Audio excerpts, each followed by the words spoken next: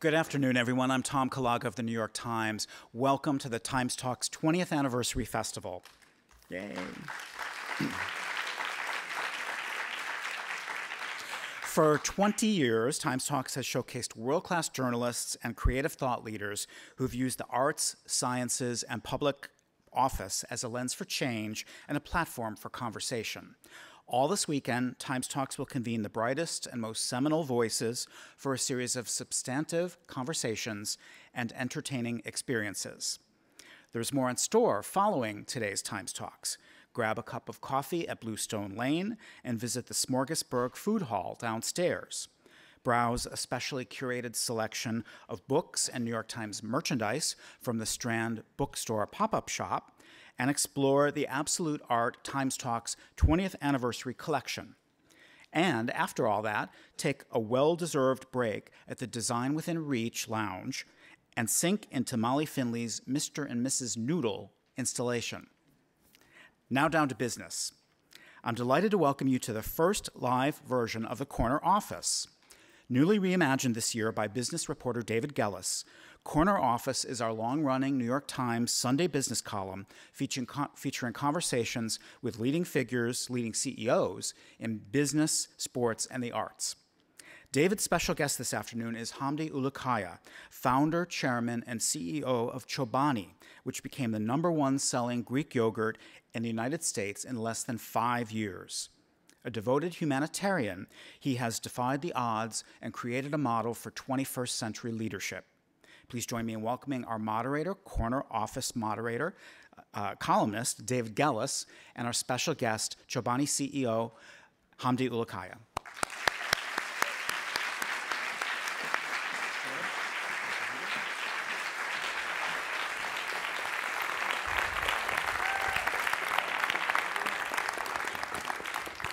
Good afternoon, everyone. Uh, I'm so delighted to be here with Hamdi. Uh, I've been a business reporter for 10 years, and uh, you can imagine I've met my share of CEOs, and rarely do you get someone with the, the full package. a really inspiring personal story, authentic engagement with social issues, and, and unquestioned business success. Uh, so we're delighted that Hamdi's here, especially because eight days ago, Hamdi welcomed a new boy into this world.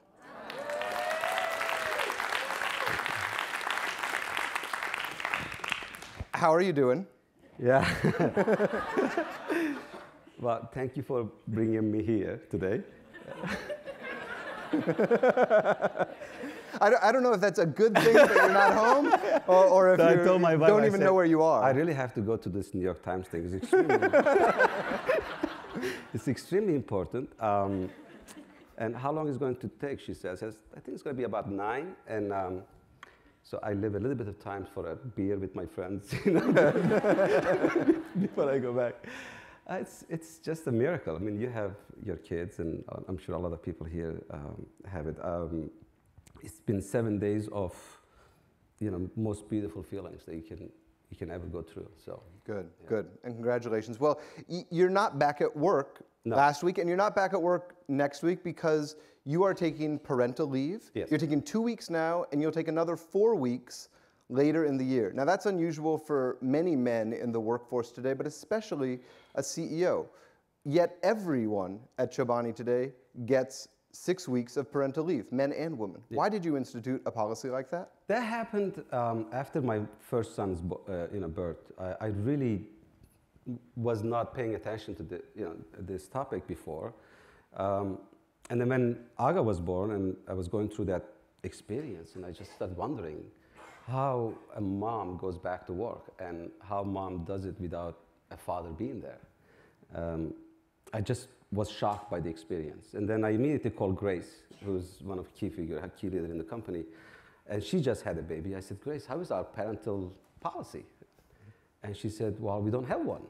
Um, we just have what the state and the insurance, you know, provides. And I said, well, can we look at this and see, you know, how are the industries doing, what are they doing? And it has, uh, you know, I got to tell you, David, we, the things that we found out with the search, I mean, in technology and, you know, in that world, it, things are a lot better.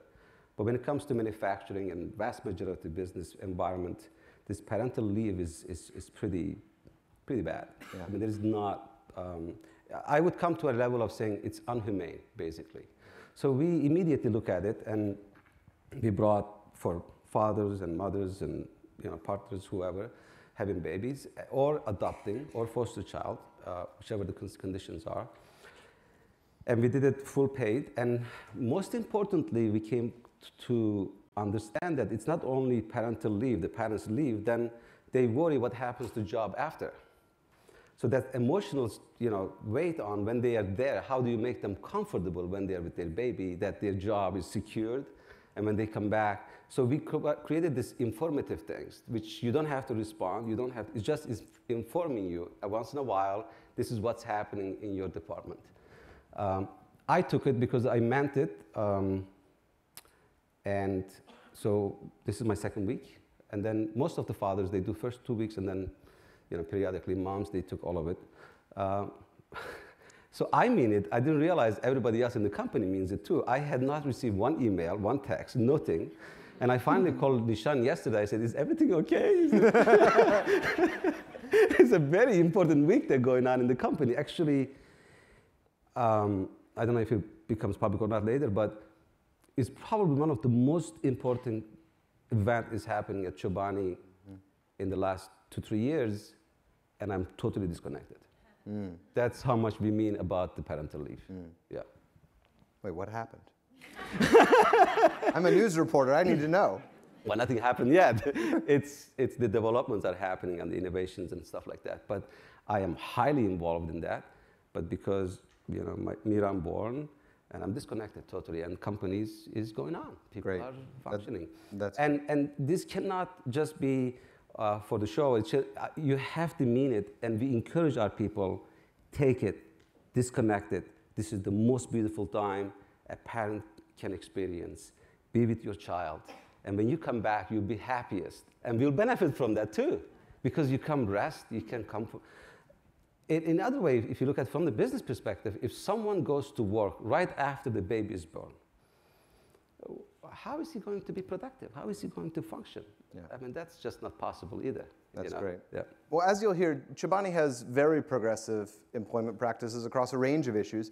But as Tom generously mentioned, this is the first live corner office. So this will actually become a print column in the New York Times later this year. And corner office uh, covers a lot of ground. We talk about personal history, we talk about business success, we talk about leadership and values, and we're going to get to all that in the next hour.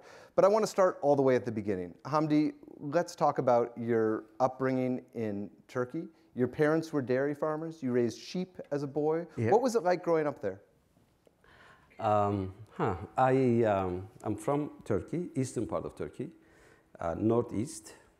It's, it's Colorado weather, you know, um, snow, mountains, um, and then beautiful spring, and you know, um, and as Kurdish um, nomadic, we were nomads. We would go up in the mountains with herds and sheep and goats and cows and make yogurt and cheese and, and come back in, this, in the winter back to the village, back to the um, town and villages. Um, so there is not a day goes by I don't travel back to my childhood. I mean, something upstate is a lot easier because you know you go to a farm, you see a smell, you say, okay, it smells like my, my cow. um, uh, there's not a day that you don't go back uh, my mom was extremely important figure in our in our bringings. Um, the community was extremely strong, David. I mean, th- there was not a law that it was protecting it. It was just um, this community sense of being part of community gave so much security and safety that we grew up not worrying about anything, basically. Um, money didn't mean much because up in the mountains there was nothing you could buy with it. Um, and like give you an example, if somebody's, we all have 100, 200, 300 sheep, and that's your wealth, that's where you grow, that's what you bring food for your family. If barn burned or something happened, a wolf attacked your, your, your herds and you lost all of them, each family will bring one, and the next day you would have all your sheep back. Oh. And that's, and the one that, each family that brings one to them, they pick the best one. They don't bring just the okay one. So that's, that's kind of you know, we lived under the tents up in the mountains. You didn't have guns to protect yourself. I mean, it was, it was simple. And I grew up listening shepherds. I grew up with shepherds. I grew up hearing their stories. And I grew up watching my father, you know, conduct his small businesses and buying cows and sheep and selling it in other big cities or making cheese or selling yogurts. Um, and then later on, I went to boarding school. I, I went away from home when I was 11. Uh, this was a boarding school that you would become a teacher in the end. And I was there for five years, you know, coming back to home summer and winter every once in a while.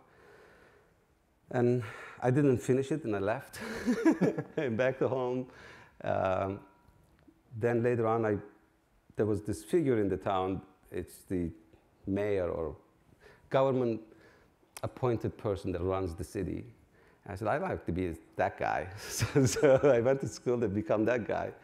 Uh, and then I left after two years because I published a newspaper and, you know, being a Kurdish activist and all that stuff, got into trouble with the uh, government. And one day I said I should leave. I should go somewhere in Europe. This is not livable anymore. And one stranger said, why don't you go to America? Mm. And until that person told me, I never thought about America because we thought America was source of all the problems in the world. Uh, Depends who you ask. uh, you know, the imperialists and all that kind of stuff. Um, and, and I came back to that guy again. He was a customer in a, in a small shop we had, and he said, you could just go for a university. Hmm.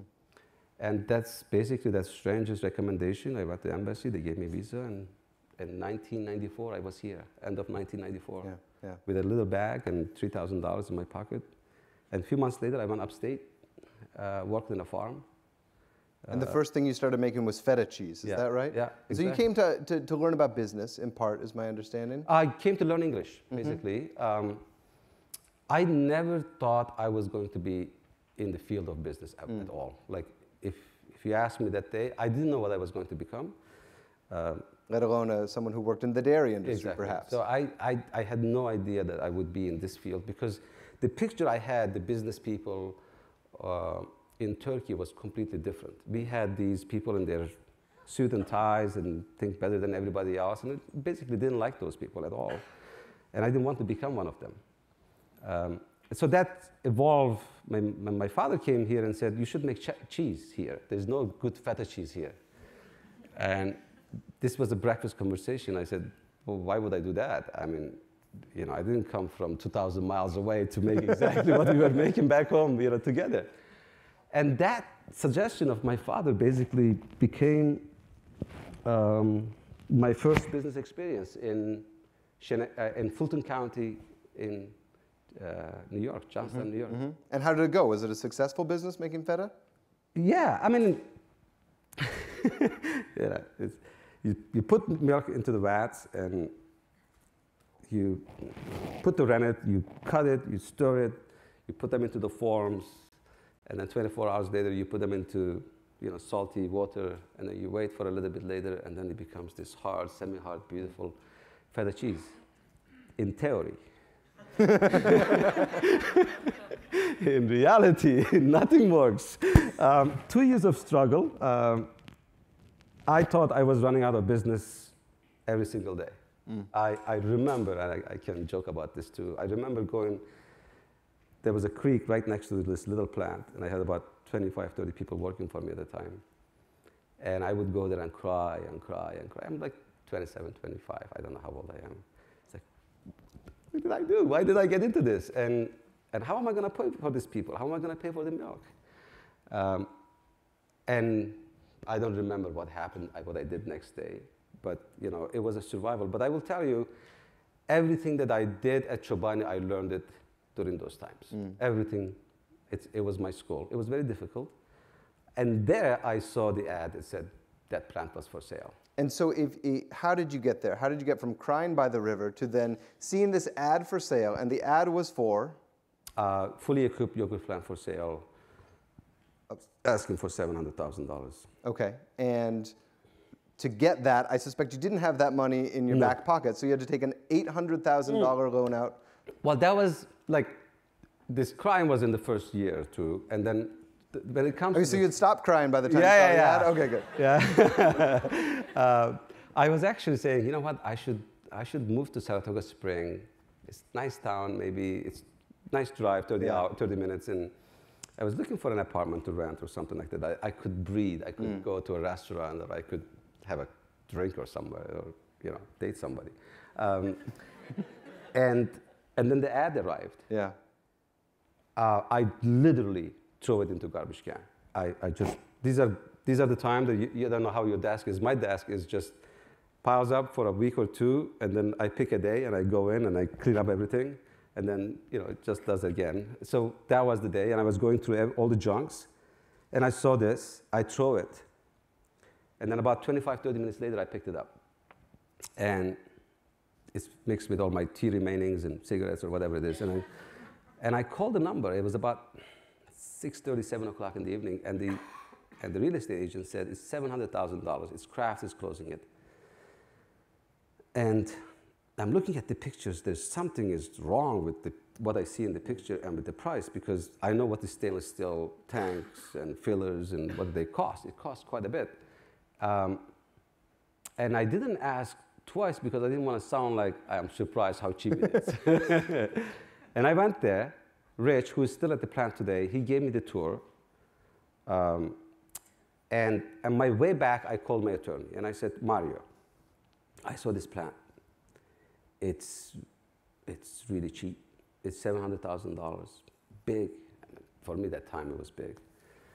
And he said, What is it? He said, Kraft. What does Kraft do? Yogurt. They closed? Yeah. Okay. And you want to buy it? Yeah. Okay. It's just, he just keep asking me questions to remind me something, but I'm not getting it. And he said, Look, they're looking for an idiot Turk to unload this as is. it's a junk. Uh, you probably have so many environmental issues. You're buying as is. And, you know, if they thought the plant worth anything, they would have not closed it, one. And if they thought yogurt was a good business to get in, they would have not get out of it. This is the biggest company, you know, food company, one of the biggest food company in the world. So when you hear this wise guy telling you all those things, and you say, you know what, it's right. I mean, it's just, who am I? I don't even have money. I mean, so I would call him back the next day. Just, I couldn't sleep, and I would call him back and says, Mario, yeah, but you know, I don't know what it is, but there's this, I feel like I can do something with this. He said, he said the obvious. He said, Hamdi, okay, let's assume that you could do this, but you don't have money. And you haven't paid me for the last six months. it was true, huh? then, then I said, okay, we gotta find a way. What? there was this two gentlemen from Key Bank, local bank, and said, Hamdi, there is this program at the SBA, and if they support this project, then we will support the rest of it. And they made it happen. And by August 17, 2005, I had this key for the factory. Um, and I had hired the first four people from, from, the, uh, from the old plant. They had 200, and they had 55, and then they closed it. From the 55, I picked the first five, I'm sorry, first five. And did you know h- how to make yogurt? I had the general idea, yeah. I didn't know. I didn't know how to make it in a factory environment, but in a small uh-huh. production environment, I knew the idea. But that was the thing that it was happening. I was seeing these European yogurts are coming in, and I'm looking at the quality of the yogurt on the shelf. It's pretty awful.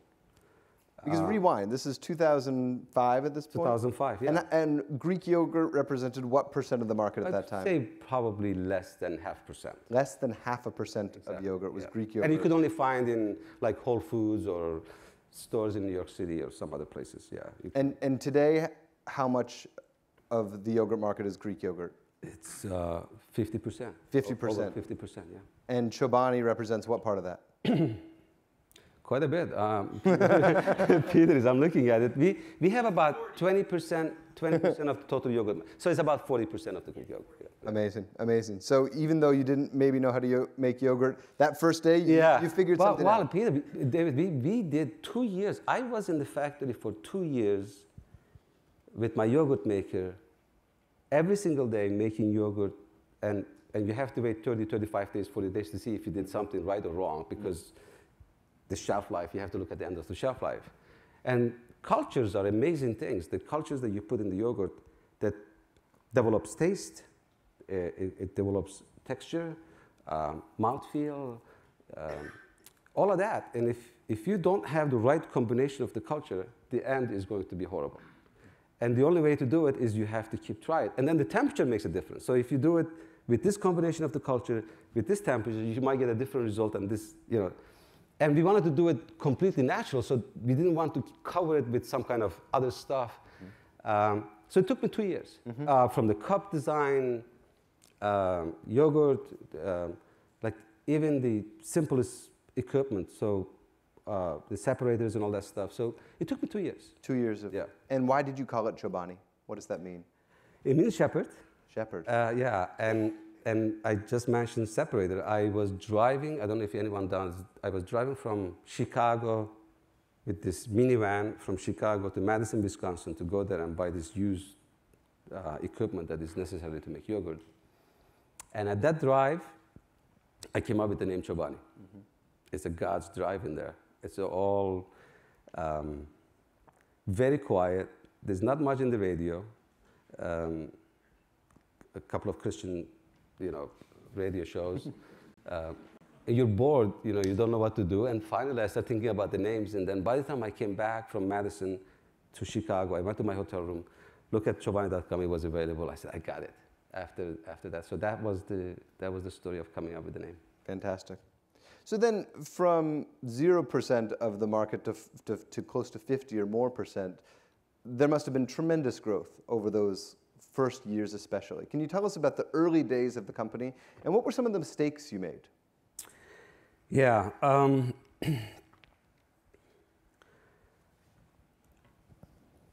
I think thinking back this 2005, 2007, and these few people that you know we are surrounded ourselves, um, that the doubt is not only with the workers that they lost their job or the community, doubt is also in me, right? So there's this large company, Kraft, left. This plant closed after 90 years. This is the last plant closed in that community, so the morale is, is pretty low. Um, and people see examples in Binghamton and all the other areas of what has happened. So there's not much uh, optimism in there. Um, and the resources they can see, I mean, I don't have a lot of resources. This is not a rich guy coming in and starting this factory. So there's not much to hold on to in there. Um, we made the first yogurt. It took us eight hours to fill 300 cases of yogurt. And we, we ship it to Long Island uh, to a small kosher store. Um, I don't remember the name. And we, we put it on the shelf and we waited for a whole week to see if anybody's going to buy it.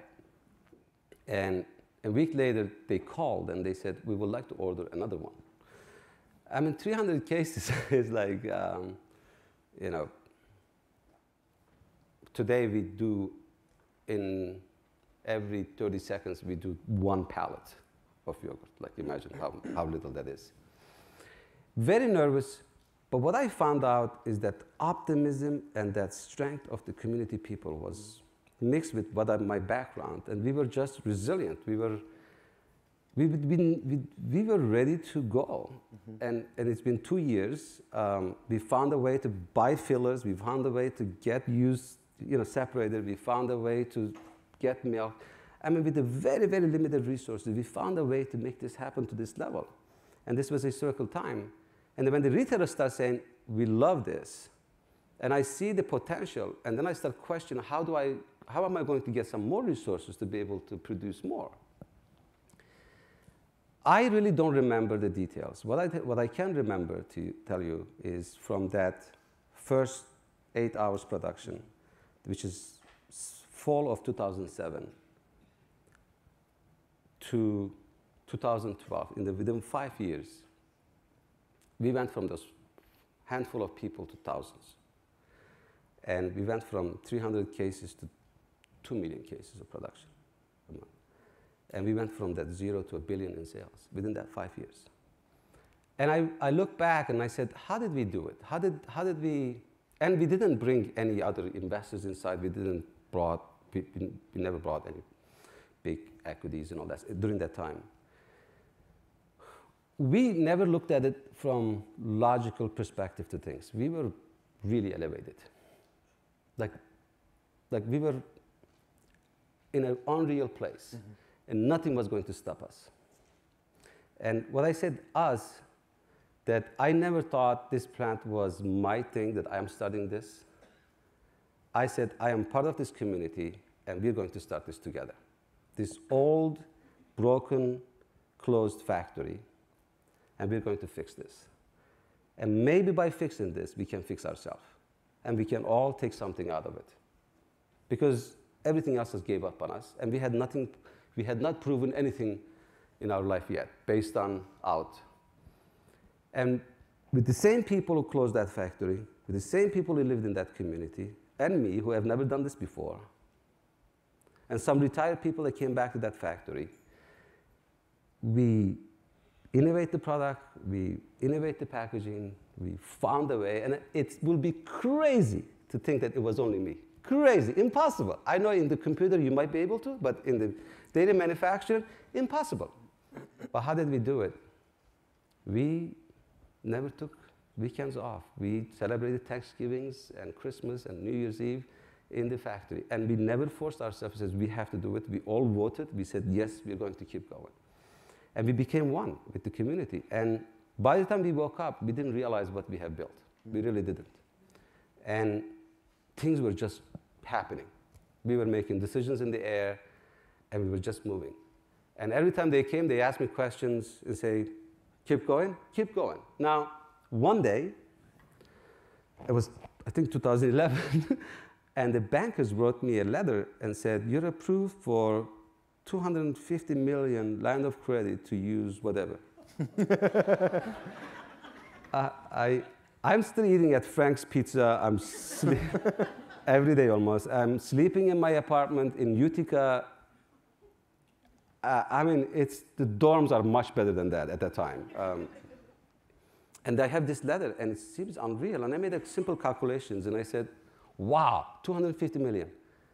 Um, so I'm, I'm about to give this offer to this company to purchase, but that means they can give me 250. I said, 250.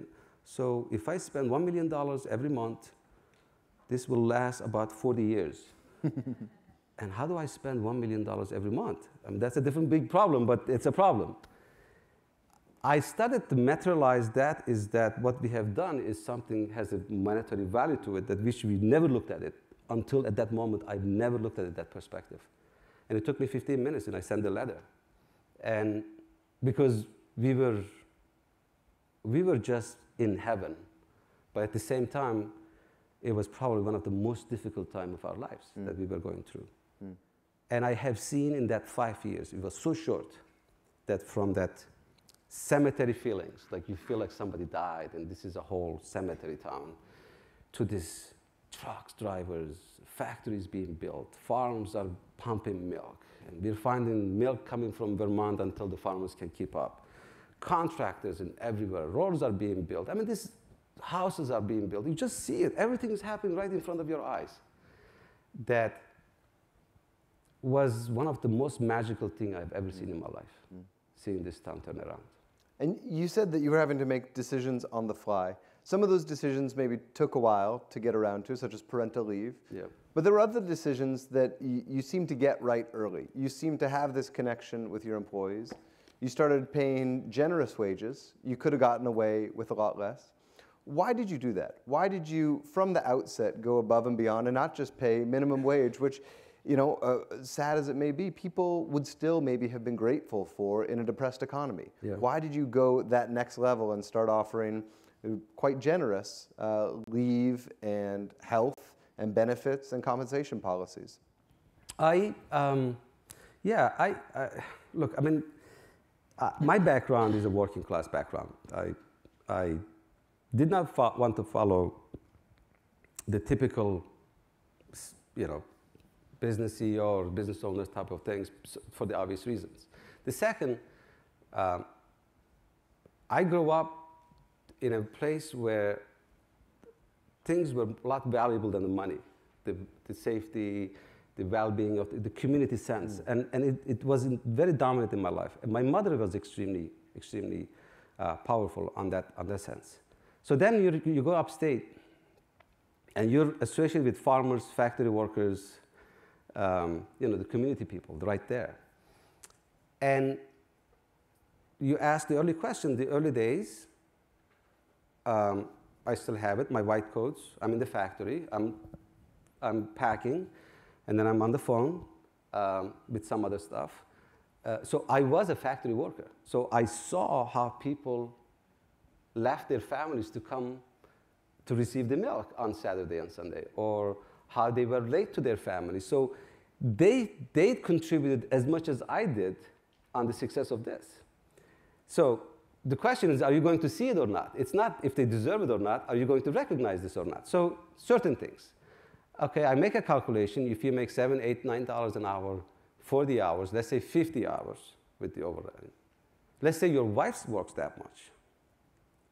Still doesn't, math doesn't make it. You can't have a house. You can't have a good food for your kids. I mean, you can't afford, forget to go on vacation. It's just the math doesn't make sense. So if I am not going to start acting upon people who built to make this happen first to them, uh, it just from the standards that I've discussed, it, it would be unfair. Mm. So what I wanted to do is I wanted to do things that I could continue to do for a long, long, long, long time. And that's why, for example, the, uh, some of the shares and all that stuff waited for so long because I didn't want to provide something to the people where a few years later it would, because people make you know, plans based on that. Uh, but one of the, my first dream was to make this company a certain place where everybody's a partner, mm. that they get deserved portion of what they have helped building. And you just mentioned the shares, and, and the audience may not fully understand what you're talking about, but it was such a big deal that we put it on the front page of the yeah. New York Times two years ago, uh, a couple years ago, you gave away a substantial portion of the company to your employees, yeah. which is basically unheard of in contemporary American business world. But you actually just proactively, without having to, issued shares to all of your employees, including your factory workers. Can you talk, just talk to us about that moment? Yeah, um, that moment was a, another magical moment. Um, I would say my, my, my, my first five, my first 50 colleagues, or my first 100, my first 200, um, everybody was in tears. And I think um, you know, it, was, it was captured on some of the pictures. Nobody was shocked. Hmm. But it's still emotional. Mm. Uh, th- not that they knew this was going to happen because I had to work so hard to make sure that what I was going to do is it can stay for a long, long time and it can be done from the legal perspective. That was a, that was a big battle that even if you want to give you know, that kind of program to 2,000 your employees, there's law that didn't allow you to be able to do it unless you hired and paid millions of dollars to lawyers to be able to put, figure this out. So we must make this easy. That's, that's a different topic. What has done to company is, is like, it, it's not that story is finished, but it's settled. It's okay mm-hmm. now. Mm-hmm. You know, it's, it's that feeling that everyone can walk in and says, yeah, I built this. It, mm. I, I, made this happen. I made this happen with him, with him, with him, with him, and together we built this. And I, I look at from from the bigger perspective, and I, see, I don't see, especially for the rural communities, especially in places where things are a little difficult, I don't see any other way of finding a long-term solutions than the businesses are, you know, stepping up. Mm especially for their own employees and, and, and especially for their own communities. Um, this check, you know, box, and I'm doing this and this in the world, which is fine, but we have to start worrying about our own employees, their families, and their children's well-being, and the community, and the school that they live in, and the fire, fireplace that they, uh, uh, you know, firehouse that they have in town, and the and the baseball field that they have in town. We gotta start worrying about those things. And it's not like this is the companies providing, it's the steam in that town that creates this environment and, and, and the sponsorship of that company who is combined of the people who works in that town, that ecosystem has to work. Otherwise, depending on governments and depending on you know, this fluctuation of political ups and downs and affecting people's life is, is, is pretty brutal. And, and I see it with my plain eyes, especially when you go to town like, you know, Norwich, New York, or, you know, Falls, Idaho, or, you know, the places like that. I can say, what, are, what is going to happen to me? And this is the one that the businesses, especially the do the manufacturing side, um, and, and these places, it's got to step up. And, and I promise you, it's not a burden on business. It doesn't add any cost. What happens at Chobani has always been that way, but especially after this, we became this unstoppable force. I mean, everybody works in that. It's not like how many hours you spent, how much you're in, how much passion you have in there, how much you believe in this. And that becomes this amazing force that you get things done maybe 10% of the time of everybody else does. Mm-hmm. You save so much that pays everything in there. The question that comes to the owners and say, what's the difference really if you own the company 40%, 30%, or 80%? What's the difference that makes in the life? What's the difference between one zero this way or one zero that way compared to this? And if you live in places like in Norwich, in places on Twin Falls, and if you live with ordinary people for a long, long time, and if you come, and I'm sure a lot of people are coming from that kind of backgrounds of what's more important in life, and you combine them with the logic of business, this is not a bad, you know, this is not a very difficult decision to make. I have to say, I do not hear a lot of CEOs talking about the firehouses and baseball fields in the towns where their factories are. Yeah. I applaud you for that. So as you grew, Chobani needed workers, and you looked to an unusual source for employees. Just six weeks ago, I understand you were in Jordan, yep. and you were at a refugee camp there. And that's because Chobani has made a point over the last several years of hiring not just immigrants, but refugees, refugees to this country um, for your factories. Why did you begin hiring refugees? Um, you know, the, the journey from that town, um, 5, 40, 200,000, you know, it's expanding, the geography expanding. And expanded to all the way to Utica. And, and we can start hiring people from Utica now.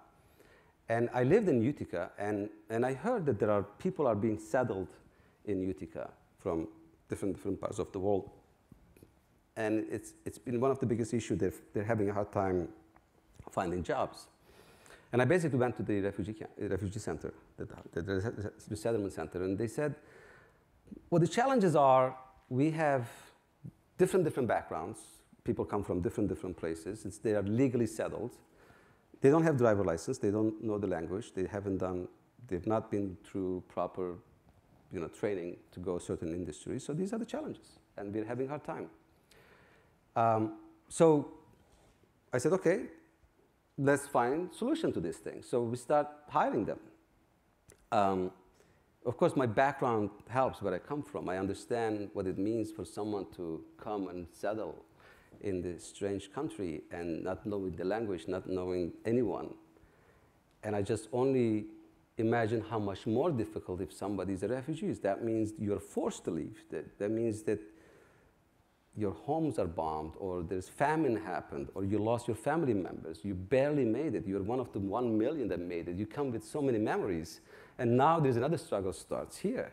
And maybe you have kids. Um, so with those th- things, and I spoke to people at the plant, and I said, well, well, let's, let's do this. Let's put some kind of transportation. Let's put some translators, bring some translators in here. And th- that just started, and people in the factory loved it, and we became this me and all locals, and then it became so many other ones like, like me. And what uh, countries were you hiring from? There's 19 different ones. 19 different, different languages spoken in Chobani factories now. it's, you should see our family day at Norwich in the summer. It's like literally United Nation, like United Nation. And, it's, and, and I found out that Twin Falls was also the same as a, mm-hmm. a refugee settlement place. Um, And we, we did offer the same exact program to people in, in, in uh, Twin Falls. Uh, work for the refugees, I've always said, the minute a refugee has a job, that's the minute they, become, you know, they stop being a refugee. That's, mm. that's the time they get their dignity back. That's the time that they can go back to their family and says, I'm worth something. I was a doctor there. I'm a factory worker here, but I still come home. I bring bread to the table. I provide to my children. This is the time we start writing our story again. And so many stories are written at Chobani's uh, population of refugees that came to work. Some in the schools in Yale, some, yeah. You go and it's, it's, it's, it's not, it's very difficult not to get emotionally affected by the story. So that's why, uh, um, you know, it's, it's not the reason from the perspective of labor, community first, people in the community. If I was in Utica, refugees would be part of the community. Norwich, we didn't have it, but when we expanded, it became part of the community. And these people are hardworking people. They've gone through a lot. They made it here, generosity of this country. I hope it continues that way. And have right to work. And we must make them part of the community. And that led me to start thinking about globally this refugee issue. And then I formed my, my foundation. Yeah. I, I want to get there, but yeah. first, I mean, a lot of people find inspiration in what you do the benevolence of wanting to hire refugees, the uh, recognition that these people are struggling and that a job could really help transform their lives. Yeah. And yet other people really take issue with this. In Twin Falls in particular, in the last year and a half or so, you drew a lot of flack. The alt-right came after you, Breitbart News came after you, Alex Jones of InfoWars were not only making salacious claims about some of your employees, but also you in particular, arguing that you were trying to infiltrate the country and bring over dangerous refugees and assimilate them into the population. Tell us about that experience. Yeah, I mean, it was, you know, you're all human beings. It would be very difficult. It would be not correct if you say you get affected by it. You get affected by it for so many reasons. One, um, you know, I know Twin Falls. I live there. I have a house there. Uh, I remember the day one when I went there and shake hands to the mayor and connect with the community people there and the, and the governor. Um, and it was my first time there. And the minute I left from the town, I said, this is what our next plant is going to be. Not because, you know, this and this, and I don't, they didn't even have any economic incentive. Because of the connection I made with the people there. They're great people, amazing people. And it was sad that all these things were written about that community. It was not true. There was some small, but majority of the people most welcoming, honest, hard like steel, real people. So that hurt. Um, the second part was that I was worried about people at Chobani. And I, I, I, worried about people at Chobani because it was not a reflection of what was happening in every day at Chobani. We were a community, and we were like a family. We had five, six hundred, maybe time up and down, we were all together of the refugees and, and the locals and everyone. And, and I, I was worried that this would get affected by it because of the, all these noise. Um, personally, you know, the truth always comes through. You know, I mean, I, I have to get my skin needs to get thicker, and, and you know, some people don't. But that's why you get affected by. Um, I walked to my office one day, and and then I think there was a story broke that I was getting some death threats and all that stuff because of this. I look at my table, and I don't know if I told this to anyone else before. I, I, I saw all these letters on top of my, my table, like hundreds of them. And honestly, I didn't know what, what this was. And, and I, I asked, uh, you know, uh, my assistant at the time, I said, what are these? He said, these are letters that are coming from all over the country. I said, have you looked at it? I said, we looked at some, and that was another crying experience at the time, how tears came to me. These strangers from all over the country writing and reminding you what this country is all about. Yeah. That telling stories of their parents, you know, when things happened in World War II. Um, and or in Africa, or how generous this country was, or how they become what they become, or how they're worried about all these noises that are being made. And, and you look at that voice, I look at these letters, at that time, my, all my worries were gone. Yeah. Um, I remember this is how we first encountered one another. When this happened, uh, I wrote about it for the New York Times. Yes. And it was one of the most popular stories I wrote all year, not because the alt right seized on it and tried to make their claims, but because people sympathized and people were supporting the company and supporting yeah. your employees in, in a pretty profound yeah. way. And the community got together and became stronger. Um, but you sued Alex Jones. Yeah, because I, I don't know if we sued them. I thought we did. We, we yes, I think we did. Yeah. Um, I, I, don't know the legal terms, but I guess um, the, I just I, I, said if somebody comes and tells you something that's not true, yeah. and you try to send them information, you try to tell them it's not true, and if you could correct it, please. And you know, you would do it for your son. I would do it for, your, for my son. I would do it for my family. I don't see Chobani any different than my family. Mm. And I don't see communities any different than my family's community. And if I look at it from that perspective, lawyers get quieter, you know, or the PR people tell less because I need to defend my honor and, mm. and say that this is not true. Um, and that's the only way we look at it. There's no other way to look at it. Um, you might not like, you know, yogurt that I make. I mean, I'll, sad, I, I'll, I'll, I'll make sure everything that prove you that it's a good yogurt for you to like. But if you still don't like it, it's fine. Uh, you might not like how we operate. You might not like how I look. You might not have it completely fine. But I think there's a line that yeah. we, we should stay. And, and in, the, in the American politics and news, for the longest time, people stayed within that area. I think the, the area that now is, you know, later on came out in, in Twin Falls, certain stories that came out that it was even certain hands were involved, what was happening in there. It was just this community was caught by all these things were happening. And you go there and says, I have no idea what's going on out there. I have no idea that I look at my news or I lead my phone and look at this, and this is not our town. This is not our people. Hamdi's referring to a, an extraordinary story that one of our reporters, Caitlin Dickerson, wrote about in depth in the New York Times Magazine last year, and I'll, I'll refer you to it. It's, it's a sensational, complicated story yeah. that involves Chobani, the people of Twin Falls, Breitbart, and more. So Caitlin Dickerson's piece on Twin Falls is worth rereading. Um, I'll just mayor no, there has been amazing. The mayor has been amazing. Oh I spoke God. with him oh during God. the reporting. Yeah. yeah. Um, I'll just note that Alex Jones did apologize to Hamdi and Chobani, an unusual occurrence to say the least. So, briefly, Hamdi, what is the Tent Foundation? Tent is um, after this, I, I get involved with. I went to Geneva, I connected with UNHCR, find out that there's a business angle needed to get into this um, issue of refugees. I mean, we are facing probably one of the worst humanitarian crisis since World War II. It's getting bigger, you know. Um, uh, you look at Syria.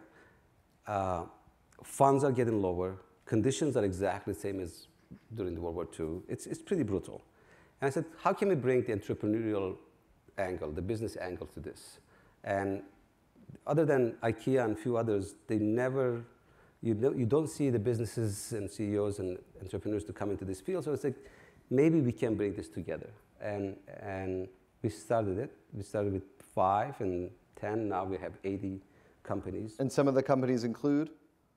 Uh, LinkedIn, IKEA, Airbnb, Johnson Johnson, MasterCard. I mean, there's some. And they're committed to do what? Committed to help the solve the refugee issues one way or another, either hiring, either in, you know, in kind uh, donations or supply chain or bringing businesses to where the refugee community is. That was the reason I went to Jordan, is just bring work, education, um, you know, living conditions to the places where these populations are living. And how many refugees does Chobani currently employ? Uh, I mean, a lot of them became citizens now, you know. Um, last I heard, it was about five to 600 people that um, part of our job, and 30% of our workers. Mm. This is the latest example, or, or, one of many, of business getting political. You've been outspoken on refugee issues, but you also spoke up uh, last year when President Trump instituted his travel ban. You said it was personal to you as an immigrant yourself. And I wonder if you could just reflect on the role of business in society today. Is this, is this part of the CEO's mandate now? Absolutely. Do, do you have to take political stances as the head of a popular company? 100%. Uh, that's my opinion. Um, you know, we are living in a place. Yeah, I, I, I think, you know, it reminds me of um, Martin Luther King. Um, I don't, I don't want to quote it in the exact same way that he said, but silence is, is, is criminal these days. Mm. Being silent is as bad as if you're doing the bad thing. Um, and especially when you are representing a company, if representing a brand, representing a community, um, you have to get involved. You have to raise your voice, and you have to take a stand. Now, more and more companies, you know, you wrote a piece on this, more and more companies are coming up because, one, employees want it. Employees and communities want it you to. Two, your customer wants it too. They do. And three, um, if you don't, you're going to be in a garbage can of tomorrow's businesses. That's what's going to happen because consumers are paying attention to what am I buying, who am I buying from, and, and, and, and, and what kind of people uh, and what kind of mindset they have, uh, you know, uh, these, these services and products that I'm buying from. It shouldn't be a business reason, it should be a right thing to do, but it's becoming a business reason as well. People are looking into this and say, company's responsibility to create wealth for the shareholders. And now this new role probably is going to be written and say, create wealth for the shareholders. That's the CEO's role in a long time, in a long term. You know, when you say the long term, that means the social welfare comes in, the social issues, and, starts coming into the picture. Um, the third thing is, I think, it's personal. We know we have power. We know we have voice. We know we have audience. And if you don't do it, and if somebody asks you two years from now, you could have said something, you could have done something, and you didn't. Why? Because you thought you would lose money. If you're going to regret that, that's going to be a really bad regret. Really bad one. And that's the same applies for the refugee issue, same applies for the civil rights, same applies for the women issue, everywhere. We can't solve all the problems, but we have to make sure that we stand for something but you can say it and do it in a way that is not political. Mm-hmm. I have colleagues from Idaho, I have colleagues in upstate New York. They don't have the same political view that I do, or they might not look at the world the way that I look. But one thing that they know, that whatever I say, I say it for real. I'm, I, I, am not offending the other ones, but this is exactly how I feel. Mm. And, you know, if you look at Idaho, maybe 70% Republican. If you look at New York, upstate New York, Republican. New York, majority Democrat. And Chobani is combined with these two edges of the country. And that does not prevent you from, because you're not political, you're doing the right thing. Mm. That's the thing. Is this the right thing or, right, or not right thing? Um, I am very encouraged this last year, year and a half, what's happening in the world of CEOs and businesses, uh, how they're stepping up, how they're talking about it. And what, I've, what I am really happy that it's becoming a real thing. It used to be, like I said, check the box, like make an ad about it. It's really becoming a real thing. And of course, the newcomers, uh, their DNA is pretty good. Yeah. Yeah. I think that's yeah. right. I think that's right. I've got one more question for Hamdi, and then we're going to go to questions. There are going to be uh, microphones at the bottom of each aisle. Uh, we're in the New York Times building, so this is your chance to be a New York Times reporter. Get that question, step up, and please, we'll have microphones at the bottom of each aisle in just a minute. So, Hamdi, I read somewhere that um, you grew up, and I think you referenced this earlier in the program. You grew up sort of not with the best impression of businessmen. You grew hmm. up, perhaps, in your own words yeah. previously, hating CEOs. So the question is, what does childhood Hamdi think of Hamdi on stage right now? uh, ah, um, I think, I think watching every day. Yeah, I, um, I want to stay. The one thing, the worst thing I can do is I'm not going to be this guy. I'm not going to be that guy. I'm not going to do this or I'm not going to do that. It's, it's this water finds its way, um, and without too much interruption, and you know, touching this stone and looking at. I, I can't say I've done everything right. I am, I am very lucky to have this journey. It's been one of the finest things that I've been in touch. Um, it brought a lot of pain out. It brought a lot of learning. Um, but, but I say, I make my mothers to watch me um, every day. And I say, would she be proud of me still? That's my scale. And I know mothers have a very long tolerance. so, so it's, it's, it's I, I, I, I think I passed that view that I had, that dark face of the businessman, not, not, and this country helped me with that. Well, I think we've learned that business can be a force for good as well this yeah. hour. Uh, uh, I hope we have questions. Yeah. Please come to the microphone.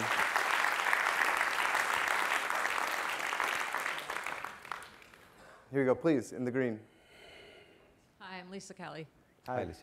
Uh, it was great hearing you, and uh, I was here this morning. Katie Couric was talking about two different communities in the Midwest. One that was embracing uh, refugees and immigrants, and how that was affecting the commerce and the economy of that in a positive way. And I do believe that things are changing, but there's still a lot of box checking. I'm in business and I hear things like no good deed goes unpunished still, unfortunately. Um, the foundation is great. I'm wondering are you hearing from other CEOs that you're talking to in large corporations and or is anybody talking about how we can train other people to maybe take a passion and go somewhere else in the country and make a difference. Because at the end of the day, uh, it doesn't matter how many laws there are when uh, CEOs from everybody from universities and sports teams to major corporations say that they don't care about people's sexual orientation or religion. That's what seems to be speaking. Same with gun control. A lot of laws haven't been passed, but a lot of corporations are making news on how they want to take a stance. How can we take somebody and make it, I don't know, sexy to go to a small town and start a business like you did? Yeah, I, that's a great question, Lisa. I mean, um, I, I keep saying these small towns are full of gold mines, really. Um, and there are some different opinions that can, can come from one end to another one. Um, but one thing you will find is real people and real hardworking true community members. And without judgment going in there. And I always said to my colleagues, in, just go pick one and, and just go and see what happens. Um, and the, the approach from, from the community outreach is, in my opinion, is nothing happens with these clashes. It happens once that connection happens in human level. Um, my connection with, like, I'm from thousands of miles away from somewhere else. I grew up nomadic life and by the Euphrates River. Uh, I came here without knowing one, and I, one, one word of English. And I end up in a small town in upstate New York. This, this gap is very, very, but I didn't focus on differences. I really focused on similarities that I had with these people. And I found hundreds of them.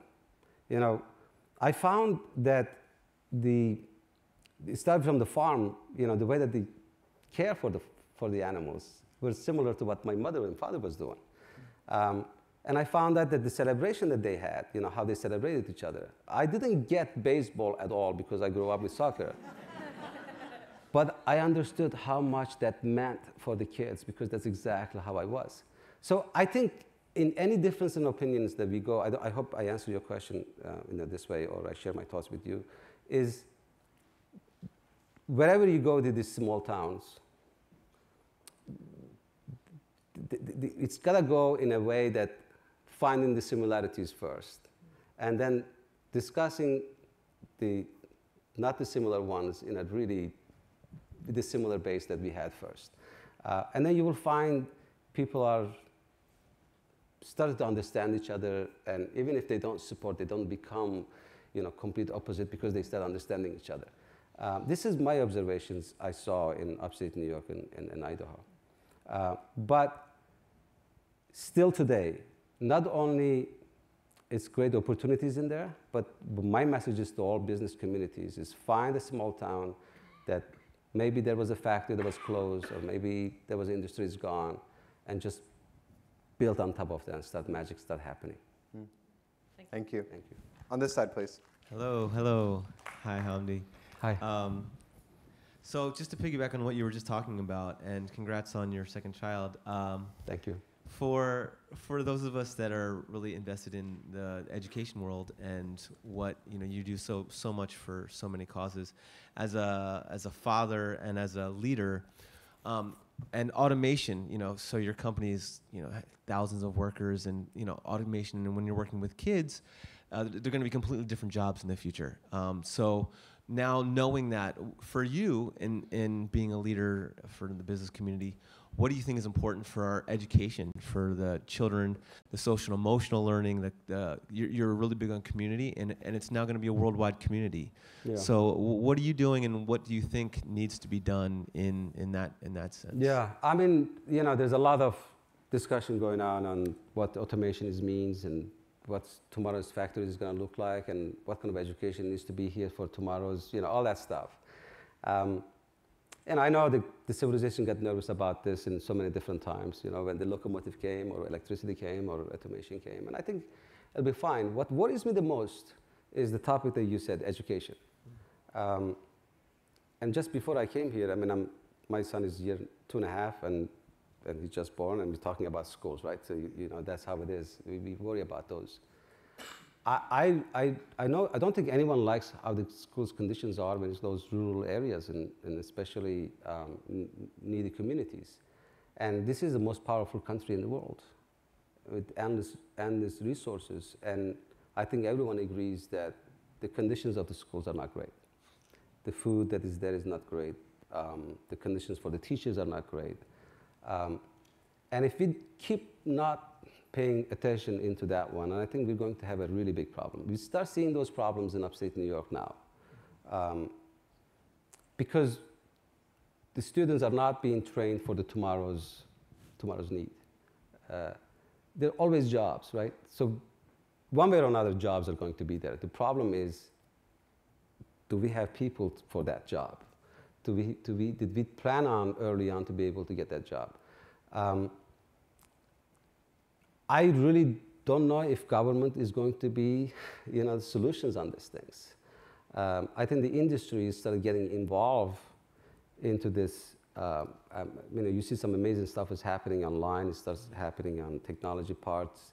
You know, marrying with the technology. And I was in Jordan. I even saw it in the, you know, the camp people with Jordanians start training people for the job that, in the technology world.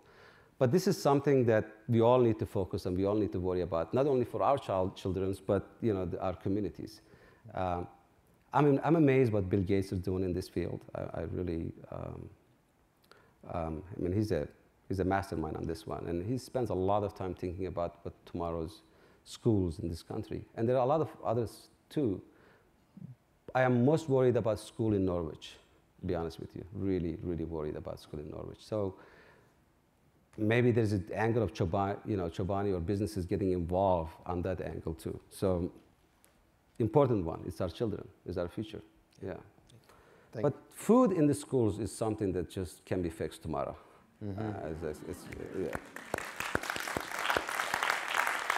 We're, we're unfortunately going to have many more questions waiting to be asked than we have time for. I think we've got time for one or possibly two more. So let's go to this side, and as quick as we can make it. Thank you. Hi, I'm Jerry uh, Hamdi. Uh, I'm wondering if, for this audience and those people watching, if you could uh, expand about uh, what's happening with TPS and people who are refugees who've had status that is now coming to an end in the next year, and if your foundation is lobbying on behalf of those people, or if you just speak. TPS. TPS, folks who came because of uh, natural disasters and so forth, El Salvador, Oh, I see. Haiti. I see. Uh, that's all been shuttering over Yeah. the last year. Yeah. I, I mean, you know, that is not, that topic was not one of our um, we, we start focusing on first was do they have enough food? Do they have any sh- shelter? Or do they have in the camps, you know, in the, in the troubles areas? Uh, and then in the long term, we start focusing on here's, here's, here's the thing 90% of the refugees are hosted by the countries that the poorest. That they're not in Europe, they're not in America, they are in the region. They are in Africa, they are in Jordan, they're in Lebanon, they're in Turkey, they're in northern Iraq, they're in Ethiopia. And, and resources there are very, very limited. So our, our work, which that topic is also you know, important, I'm sure, uh, we, we start spending a lot of time encouraging companies to help where the issue is because they want to stay there. They want to stay close to their home um, and possibly go back to their home one day. Uh, but I'll ask our tent people and see if there is any work is being happening on the people who come here. The, the worst part, people come and their kids go to school.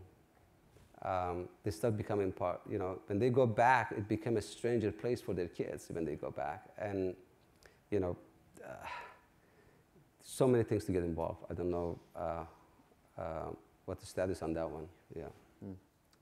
Okay, thank you. Yeah, on this side, please. Hi, you had talked about how you had this view of America before you moved here. Yeah. And I think that narrative intolerance is only growing. So how do you think we a change that intol- that narrative? And also, did you struggle to convince people that America was a place that they could come and set up their Yeah, lives? today I do. I actually. Great um, question. That's a beautiful question.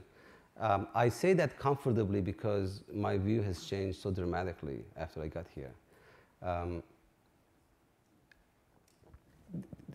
I hope, I wish that I could explain someone, because I'm from somewhere else, what it means this country's stay true to its promises, that that doesn't get damaged.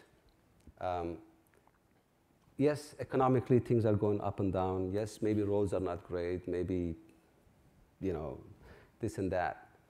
But this, this, this magic that ha- still exists in this country, this cannot be taught to someone. This cannot be implemented by the political system. This cannot be, this, this, is, this goes early, the founding fathers, the reasons, whatever that magic came together, that even today in Norwich, New York, a kid can look at the sky and say, I can, I can do this and I can do that, right?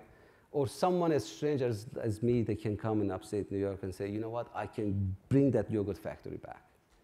It's not me. I mean, there's part of it is me. It's part of that kid. It's this, this unexplainable things in the air that this country has. That if it damages, that would be the probably the most um, it would be the saddest thing. And I wish I could explain not to touch that one. Because you can always build the road, you can always do this. But that one, China cannot do that.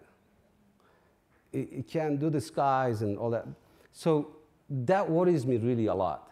And, and that's why I start telling the stories of, of things. And, and that's why we start going into the all the other entrepreneurs and say, you, you got to do the same thing. You got to do the same thing. You got to do the same thing. One, one thing that I am always amazed in here is that how things go up and then come down and do this, and then how it becomes okay. Uh, and this, this goes down into this survival things, and I think. And I don't know, I don't, I'm not a philosopher, I'm not a sociologist, but I look at from my own experience is from factory closing to factory becoming that place, the general behavior is like it's ups and downs, but it's very stable. Wonderful. Well, And it's amazing. uh, I'm getting the signal that we are out of time. So, Hamdi, on behalf of the American people, I want to thank you for giving us a chance. And for the yogurt. Thank you.